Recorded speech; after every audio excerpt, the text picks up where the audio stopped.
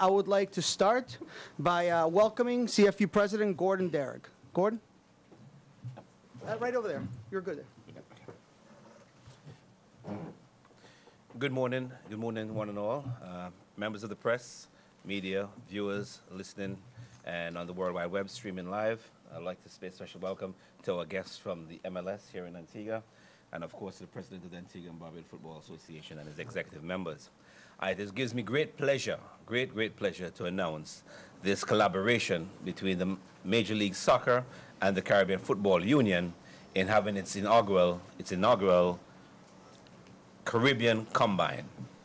Uh, for us, this is a great, great, great opportunity. It all lingers well and augurs well within our, what we're trying to accomplish in the CFU, and that is to develop the game in its totality throughout the whole region. This is an important cog in that wheel, as we're now providing a, a, an avenue for our youngsters to really showcase themselves, in our opinion, in the top league in CONCACAF. We're all from CONCACAF. The Caribbean Football Union is one of the subsections of CONCACAF, our, our confederation.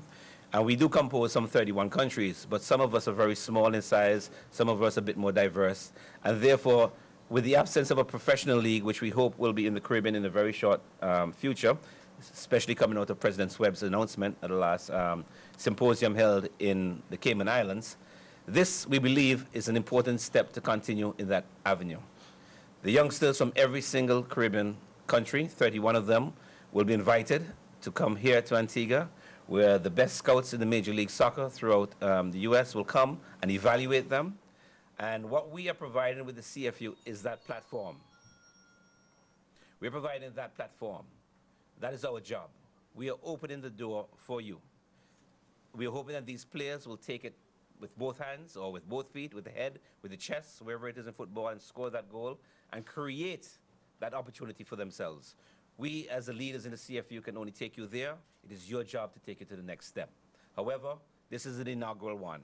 And we're hoping, coming out of how well it has gone, how well it will go in January, how well uh, it is organized, how well the scouts see the amount of abundant talent within the region, that this will continue to grow and grow. And throughout time, um, youngsters will see the true avenue and the true direction of how they can make a living through this wonderful sport called football. And on that note, I just want to thank you. Thank you, MLS. Thank you again.